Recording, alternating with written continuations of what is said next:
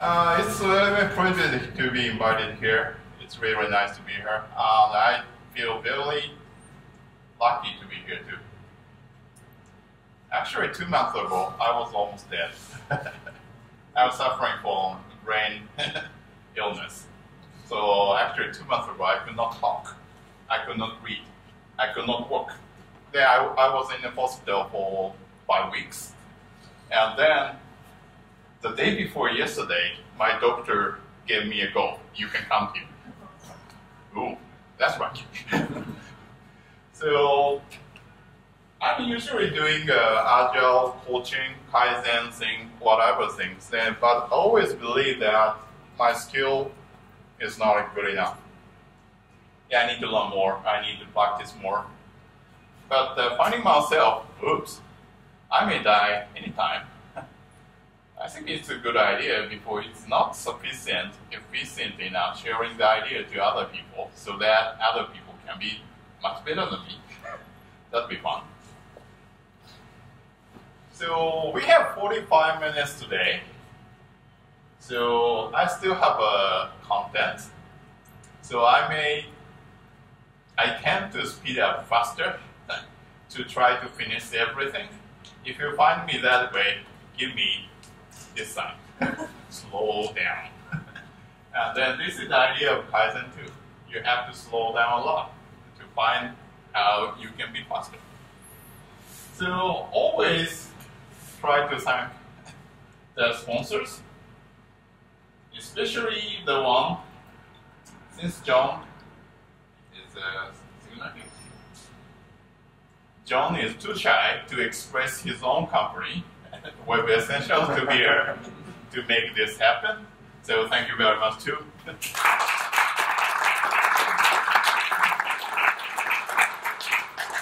so let's try to make the customers very interesting, valuable.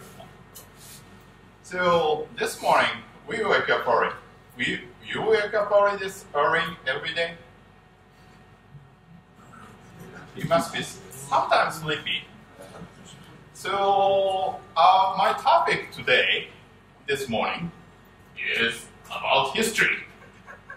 Make you sleep. so, so we will talk about Agile, TPS, Lean, but it's about the way of working together. Uh, the people out there, and can you hear me? with that microphone. So if you can have problem, let me know. So let's talk about the history, how we work together. So it's a brief history, a little bit way back, about a million years ago. so million years ago, we are all hunters. We hunt animals, we hunt fruits, we hunt crops, whatever to live our living. So usually the family member get together and we are trying to keep safe. Yeah, it, it lasts a long time. But this way of living a little bit hard since we, we need a savings. So about uh, 10,000 years? It depends. It's a location here too. Cambodian is very old culture too. We switched to farming. We decided to grow our crops every year so that we can keep some food store so we can grow our community bigger. Reality big people bigger. But what happened here? So at this time, we do everything everybody try to catch it, everybody cook it, everybody it, everybody build houses together. But uh, to keep a lot of good cloth for a long time, yes, stay away from the rain, stay away from the animal, we need a very good stockyard. So we need a special skilled people. So then, after start farming, we started specialization special farmers, special carpenters, special, yeah, forecasting about the land, whatever. we keep working. Then it works very good. So you have a very nice, nice build, building here. It is the, as a result of the specialization. So this is continued for a long, long time. So what happened? Do you know what it is? It's a list of, of people by occupation in Wikipedia. There's a lot, lot specialized professions, whatever. So I don't want to count that, so I I asked, uh, checked with the Ministry of Labor in Japan, and then it says uh, it's a, it have 28,275 occupations registered. Ooh, you have a two, almost 30,000 professionals already. So this is very, very special system. Let me see what can this do.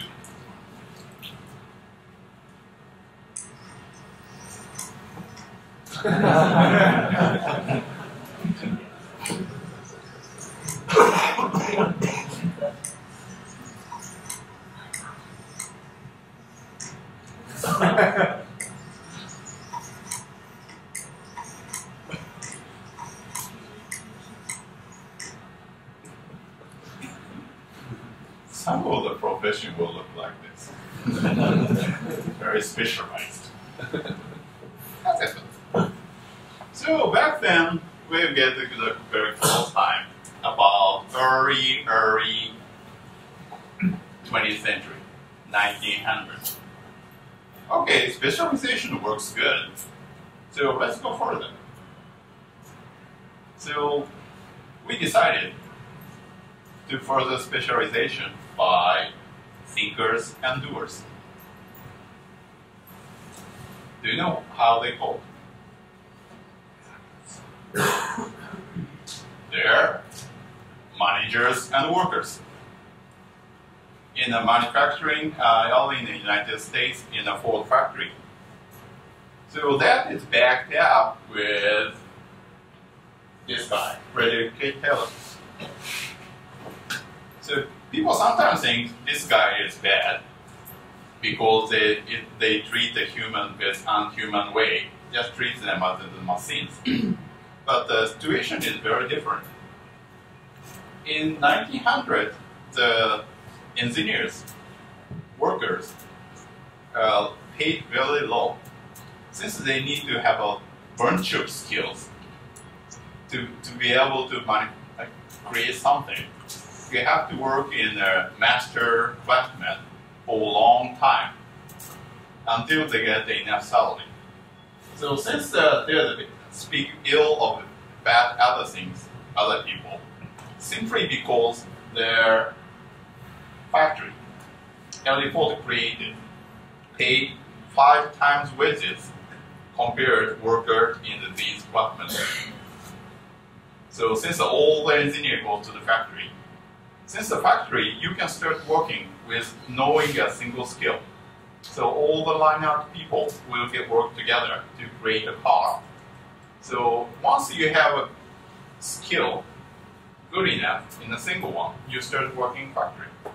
And then you start to get another skill uh, to be a master engineer. That's how then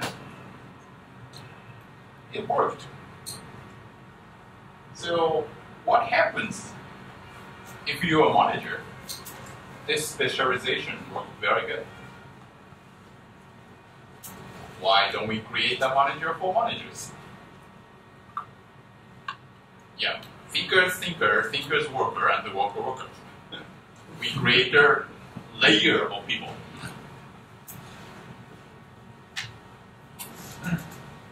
It's a some company well known, everybody probably knows that.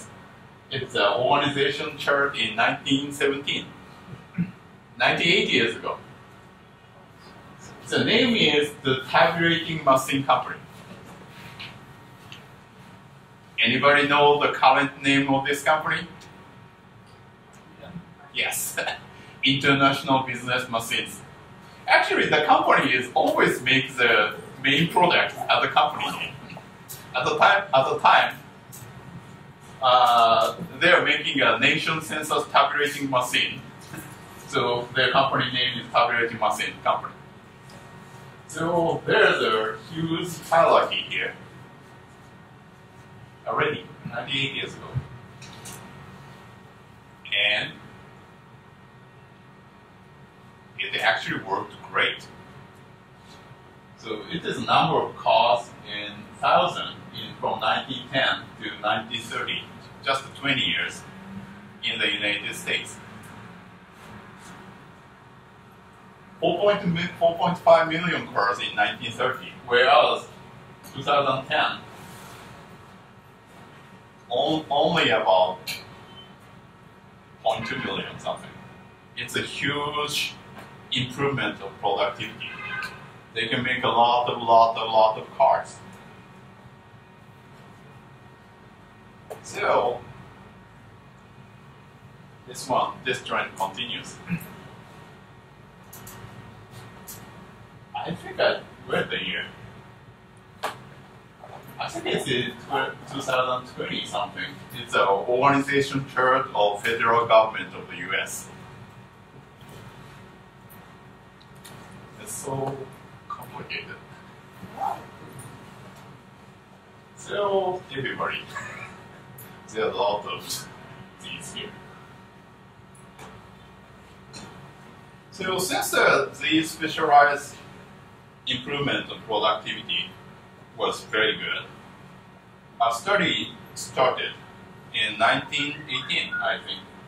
It is called Hawthorne experiment. You can Google it uh, for the very detailed example about it. It is a Western Electric Company, uh, which is now called General Electric. So they use eight years to do a lot of experiment how the productivity of assembly line is affected. So they, they ask the workers, assemblers, and then they change the, all the environment. Make it hotter, make it cooler, make it noisier, make it silent, only by older people or younger people, manager walking around or no manager at all. So they did continue a lot of lot of experiment for eight years and found nothing. So they, they, they put the same workers to put in a special experiment assembly line, uh, make it lighter, and then they get the condition to the original. So if you get the lighter condition, the other condition productivity goes up. And then after getting back the original condition, productivity stays high. I don't know. So they used a lot of money researching eight years.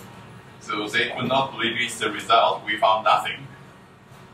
So they come up with the idea called informal organization. So usually they have a hierarchical organization structure, but they have a connection of workers that not related to official organization.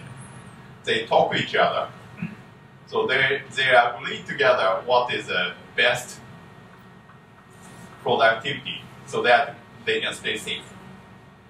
So they control how they do it with themselves not by the manager's order. That was the paper they published. Yes, of course, they're very, very criticized. So this is an essay, one, one of the organizer, runners of that organization called the FJ Roethlisberger as organizational sabotage. This is a CIA's manual, how to make the sabotage happen. This is what's going on in manufacturing.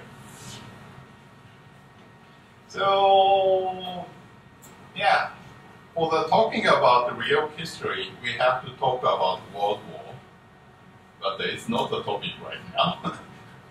Skip for that, but yeah, need to talk a lot. About 1970s, we have a new profession called programmer. So web designer is you're not called a programmer. Anyway, it's a programmer something, create something with a computer. So when it happened, how programmer design working? How, how did we design the process of programmers? So we copied the process of manufacturing designing. It's the management of development blur software system. So we get requirement, we get design, we get implementation, then we verify it, test it, and then we go to maintenance mode. How many of you are web designers? Is your process going like this? So mm-hmm. your clients start talking about something about around verification. You end up starting again. Is that true? So at that time, we try to make software development as manufacturing fully automated. That's why we sometimes call the word called software factory. We like to manufacture source code. Manufacture. So many of you already know the result. We actually tried it. We failed badly. It's a chaos report in 1994, 20 years ago. We, we, can, we can have a very recent report, but it is still similar. Only 50% are successful, more than half has some problems, 30% will be cancelled, to not finish the project. That happens. So everybody sees uh, this this one is yeah usually referred as waterfall method, but uh, this is a paper. Winston Royce. Uh, everybody says Winston Royce is the father of waterfall. No. This is this paper is usually called waterfall paper, but uh, he never used the word waterfall. And then, so this is a diagram for the waterfall method, your sequential front-based method. And this is the caption. I believe in this concept, but the implementation described above is risky and invites failure. This is written in 1970, 44 years ago.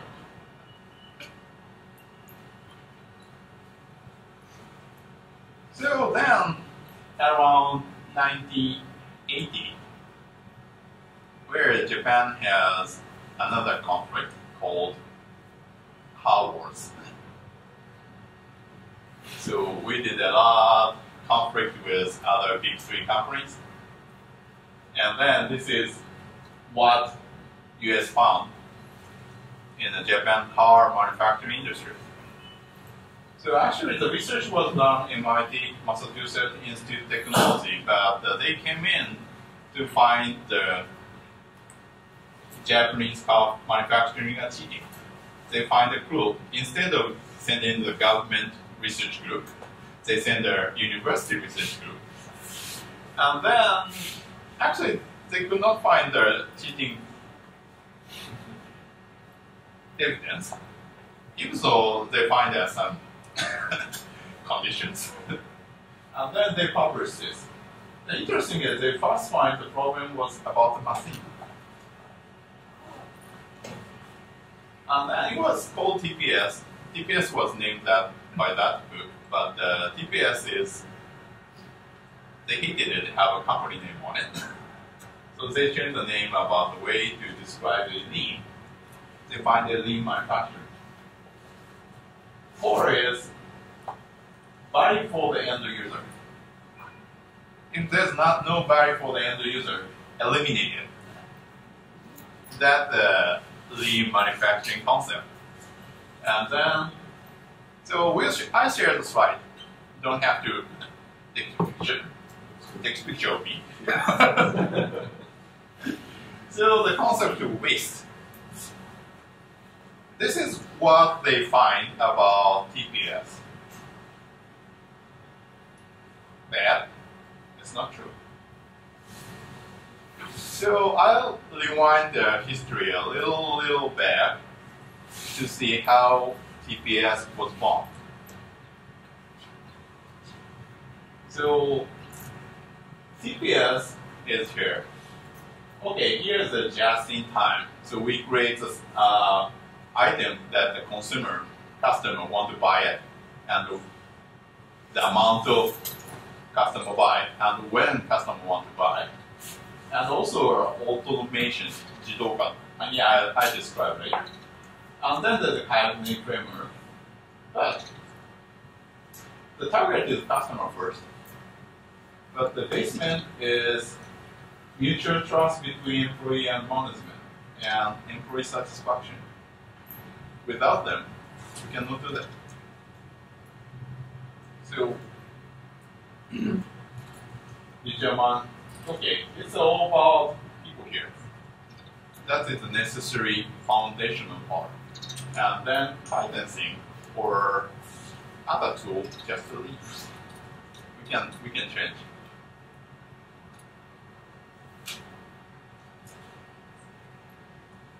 Sorry, so this is in Japanese. This was actually used in uh, about 30 years ago. It's a different one. So these are people's names working in the manufacturing line.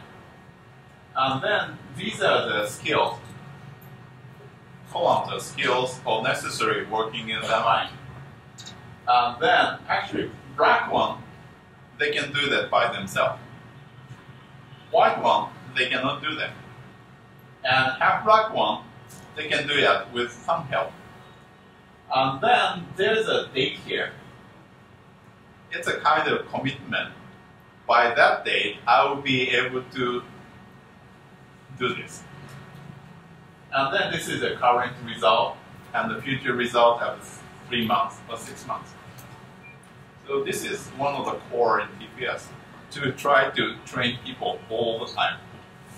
And then what you should do, you, you do this. You teach each other.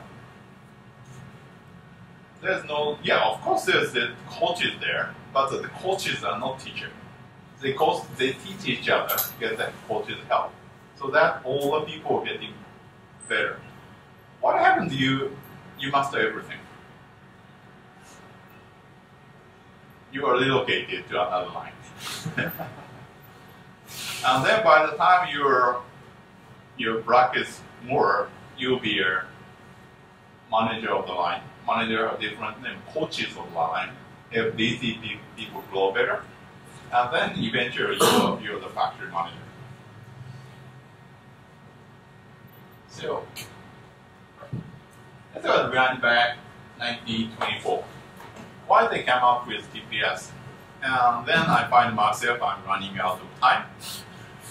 Hmm speed up.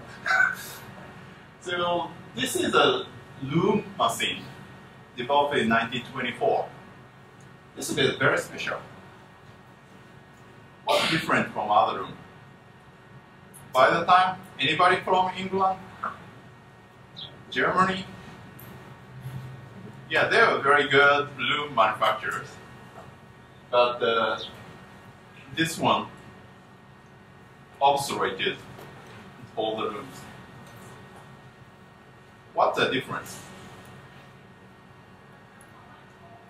So it's automatic it is a shuttle. If the thread is running out, the new shuttle get in. And if the vertical thread is broken, it automatically stops. And then there's a signal uh, calling the worker, okay, thread is broken, come and fix it. All the loom are usually keep moving. The operational rate is very high, but if the thread is broken, start breaking a bad product, and then other loom before this one, our workers have to stay in front of the loom to see if any of the thread is broken, otherwise stop it. This one, if the thread, something happens, it stops and signals. So a single worker can take care of 15 to 20 of them. The, all the room need one worker for each room. So stop it if you know you are not producing good product. That's the start of automation. Only create, create good product. And you find it, stop it. So how many programmers here?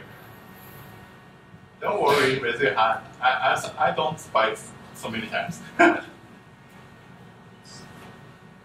Do you have experience too? You keep writing calls the, if knowing that existing calls have some bugs?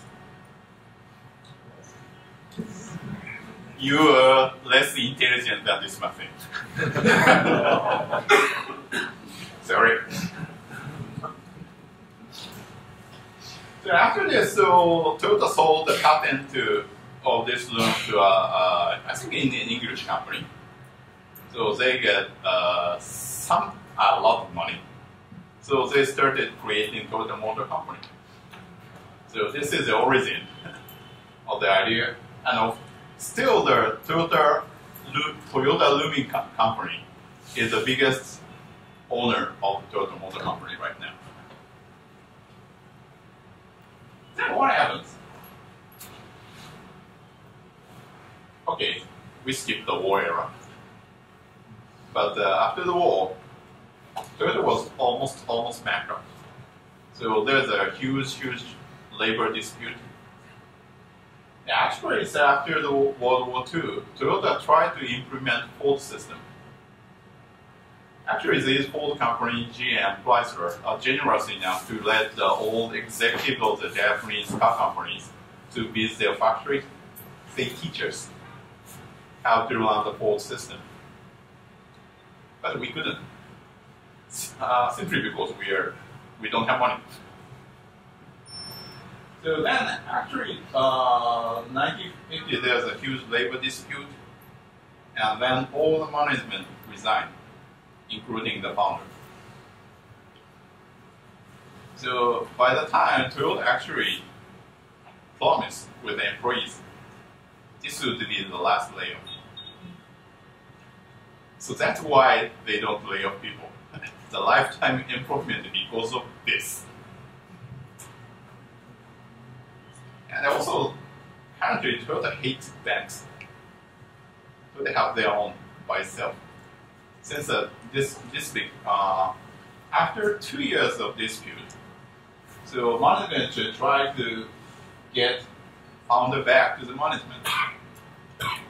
But uh, just before he is getting back, he was getting back to the company. He died. He passed away. Because of stress. So still. So yeah, there's an economic group meeting in, in Japan. The larger companies. Toyota never sit beside banks. Still here. then after that, so he they couldn't run around the whole system, so they come to the TPS. But how how? They know the autonomy, but uh, they didn't know how to operate everything. So another origin. Do you know this? It's a TWI program in the US. Since World War II, okay, we talk about war anyway. so they recruited all the younger engineers working in the factory to be to be a military. So they are running out of workers in the factory. So they needed uh, housewives to be a factory worker very effectively and safely. This is how to yeah recruit um, Scrum. So they create a program called TWI, Training Within Industry. Since at that time, a housewife was not well trained by university or high school about engineering, so they have to be trained in the factory. So, but this is the overview of TWI, but uh, they really like it, top of it, to make your work easier and safer. This is a very important part. So they have three pillars. One is job instructor know-how, how to teach, how do you work. And then job methods, how to improve your work. And the third one, job relations, know about relationship of the your work. What is the people who are using your products? So how it is related to it. And their program. Is there a safer? What there? So, do you know, remember the name of F.J. Roethlisberger, who is running the Hawthorne method about the productivity? He was involved creating this program. Yeah, making your work easy and safer is the. So that's where uh, Kaizen is came from. Continuous improvement is to make your work easier and safer. So, you know this. So I'm keeping a little faster. So, so Toolbed is improving very much after that. And then let's get back to the software. So this didn't work. So then, this is the picture of Ikujiro Nonaka, uh, knowledge creating company, innovation. They, they look into the Japanese company who are good at product development. One is type A, okay, then okay. Uh, looking for the marketing stuff, outside designing, all the processes separated, people, designed by specialized people, um, then connected via document. So they find it, the designing process takes a long, long time. So the, some of the companies are putting uh, people together. Some of people stay in the first process and second process only. Instead of having all document carries all the information, they will leave, leave people.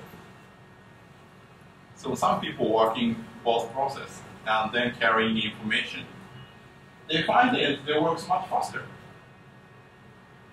So if this works, why don't we put some people from initial?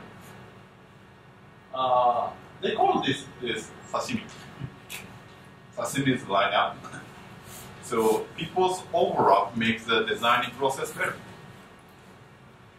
So lastly, why don't we put everybody from the initial and keep them working until the end? So they call it Scrum.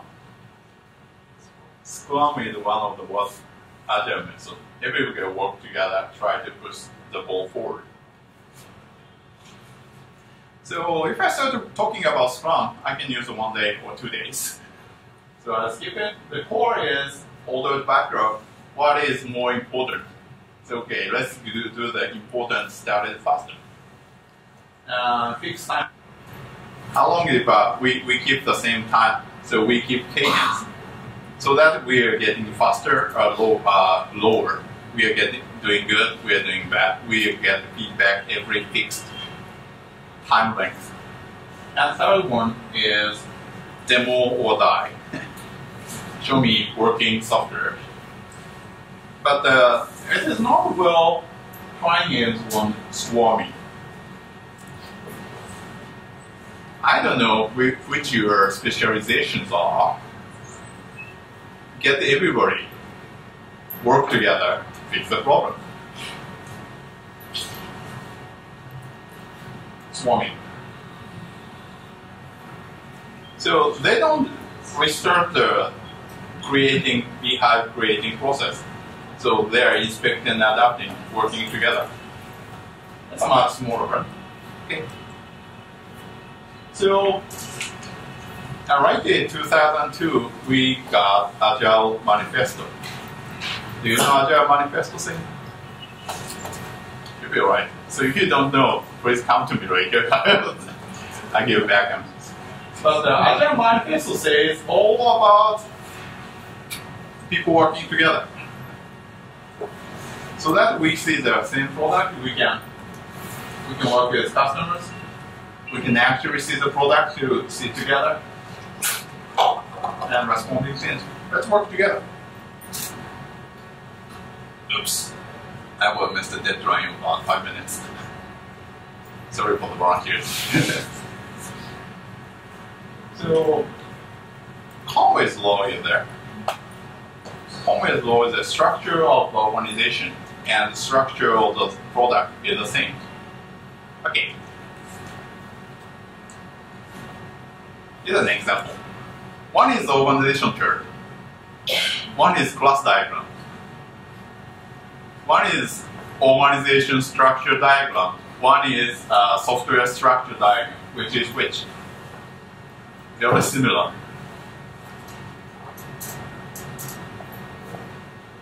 So then, Claudine,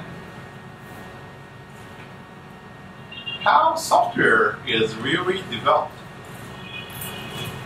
Do we have the really organizational hierarchical structure created software? This is a book by Eric Raymond about 10, 15 years ago. It's about open source software. A group of people over the company can create a great software. That is the topic. And it is a recent design principle of the current software, inverse of control don't call us, we call you. We created a framework. So we clearly have the inverse of the software structure about 20 years ago since. Do we actually see it in our organization here? We are seeing the structure build flattens and also some, some individual connect to the other companies or other product. We are losing Still, we have a strong organization chart, but the organization has button.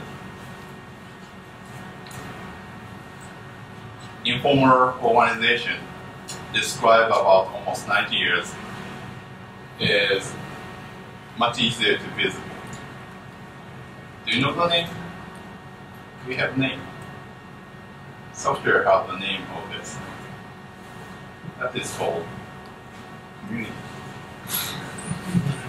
Thank you, volunteers. Thank you.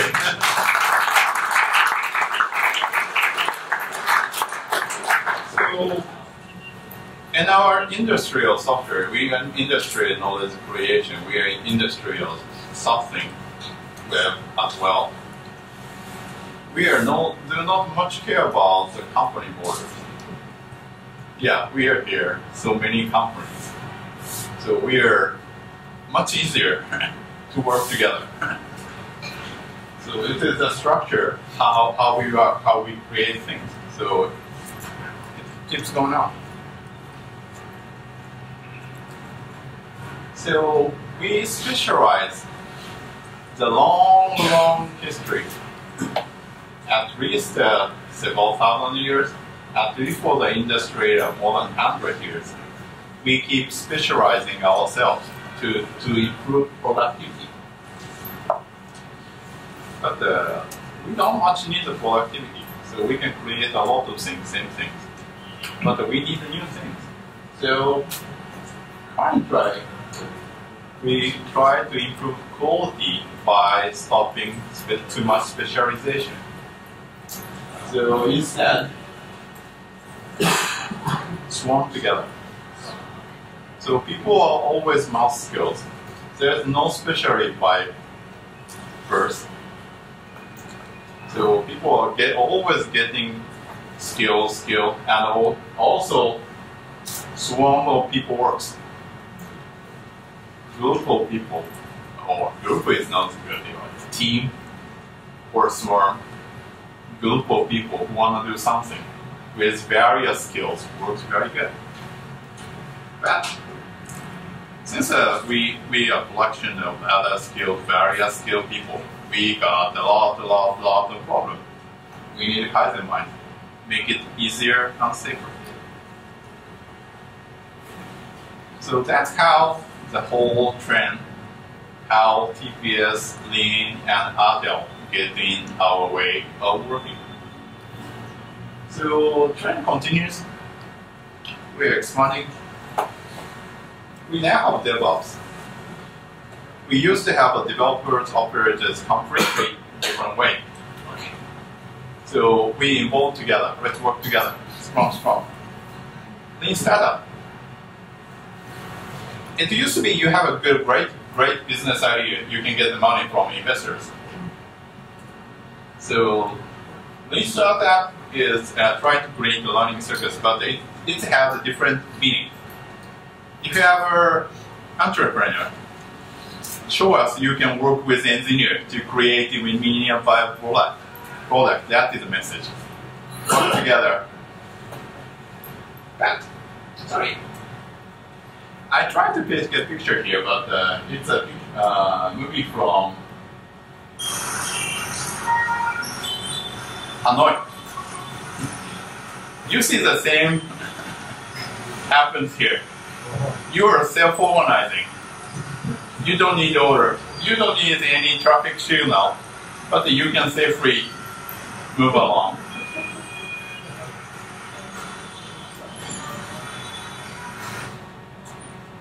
So this is uh, last year's news, but uh, Toyota is improving efficiency by replacing robots with humans. So instead of specializing manufacturing line, they are creating all the cars in a single line, and then having people with multiple skills is much better, taking care of various cars. Okay, picture. Swarming of various skilled people works. Yeah, that's why I like conference like this. So something happens. So, and also learning together is necessary. Learning together help. Not have to teach everything, but uh, we have to learn. We have different skill. And then use tools, use machines. That is completely repeatable job. And then the trend continues of the current uh, skill-based separated organization will uh, continue to eliminate. So community will have more important job. So community has the power. Community has the can control the trend. Like TYPO3 user group can can have a trend control. And the last thing is we don't know. So we used to have create the processes that uh, SQL uh, by skill separation, outsourcing other thing, uh, same thing. So by separating skill, we try to improve our effectiveness and efficiency, but didn't work. But we need to seek collaboration way, not by separation by skills. And I we really believe the conference like this is a perfect place to experiment that. Thank you very much.